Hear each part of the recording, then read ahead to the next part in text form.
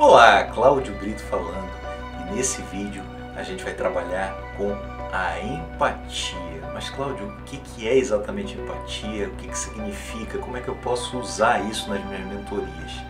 Olha que você vai se surpreender com o que eu vou falar aqui, tá? A empatia, ela não só é muito útil, mas também não é só aquela empatia que a gente está acostumado a ouvir, né? Ou se colocar no outro. Existem camadas aí onde essa empatia pode inclusive ser mais profunda. Você está disposto a ouvir?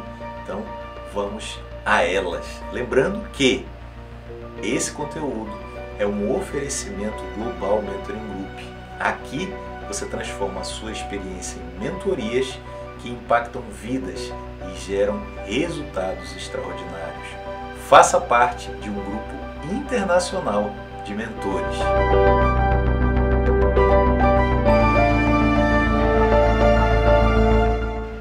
Mas vamos lá, sem mais delongas, vamos falar da empatia. O que é empatia, Cláudio?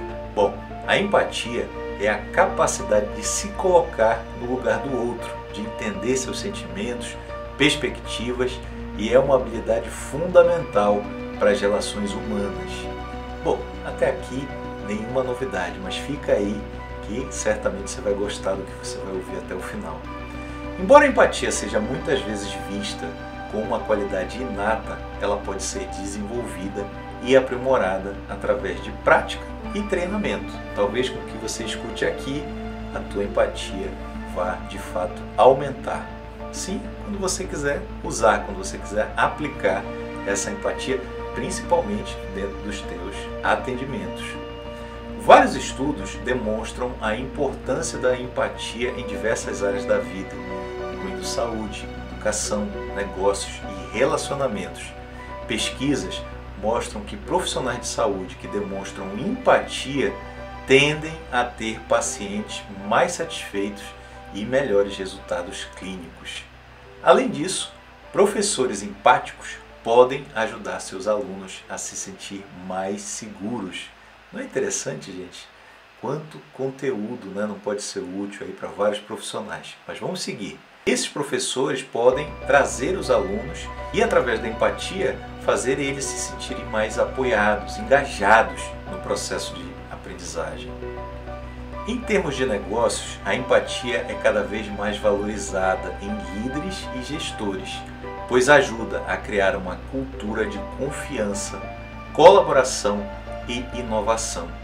De acordo com um estudo da consultoria Development Dimensions International, Líderes empáticos são mais eficazes em liderar suas equipes, alcançar metas e lidar com desafios do que aqueles que não têm essa habilidade. A empatia mostrando na prática, através de estudo, de números, que você pode ser um líder melhor, você pode ser, na verdade, uma pessoa melhor.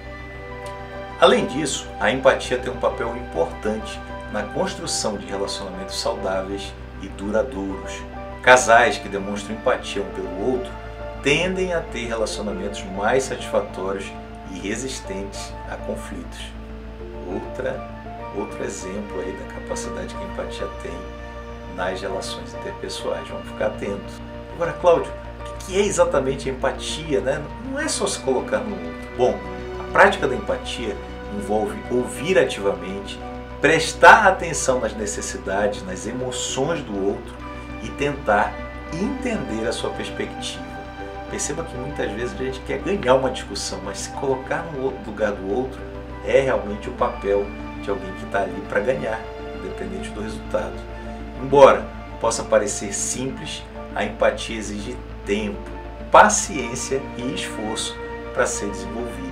É importante lembrar que a empatia não significa concordar com tudo que o outro está dizendo, mas sim entender e respeitar suas opiniões e sentimentos. Para resumir, a empatia é uma habilidade essencial para a vida pessoal e profissional, que pode ser desenvolvida através de prática e treinamento. Os estudos estão aí para mostrar que a empatia pode ter um impacto significativo na satisfação dos pacientes, no desempenho dos alunos, na eficácia dos líderes e na qualidade dos relacionamentos. É importante lembrar que a empatia ela não é apenas uma qualidade inata, mas ela também pode ser aprendida. É uma qualidade que pode ser aprimorada com prática e esforço.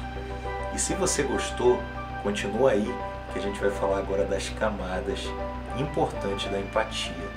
Perceba o seguinte, que se você é um mentor ou é alguém que está tentando ajudar alguém, você precisa saber que existem camadas de apoio, camadas em que ou você vai ser menos empático ou você vai ser mais empático. Um exemplo seria de um terapeuta que consegue colocar no lugar do paciente, entendendo as suas emoções e pensamentos, sem julgamento ou crítica. Isso permite que o terapeuta se conecte com o paciente a um nível mais profundo, o que pode levar a um tratamento muito mais efetivo. Vamos dar um exemplo do dia a dia. Imagina que você está parado no sinal que você passa todo dia para ir para o trabalho e alguém bate no vidro pedindo alguns centavos para conseguir sobreviver. Grau 1 de empatia, na verdade zero, né? É aquela pessoa que manda a pessoa para longe e segue a sua vida como se nada tivesse acontecido.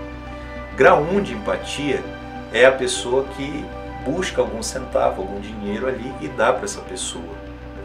Grau 2 de empatia é a pessoa que para, estaciona o carro um pouco mais à frente, conversa com essa pessoa para entender por que, que ela está naquela situação e ajuda dando dinheiro, talvez um alimento que esteja dentro do carro, para essa pessoa ali continuar a vida dela durante o dia. Grau 3 de empatia seria a pessoa que ouviria o que a pessoa está dizendo e tentaria encontrar, por exemplo, uma colocação, um emprego para essa pessoa sair dessa vida né, de morador de rua, de pedinte, né, que não é, é interessante para ninguém.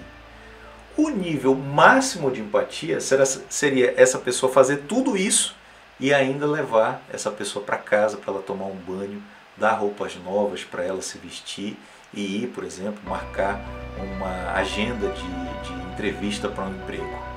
Perceba que quanto mais empático você, você for, mais chance você tem de resolver aquela situação. E quanto menos empático, mais chance você tem dessa pessoa continuar onde ela está. Qual é o lugar que você gostaria de estar?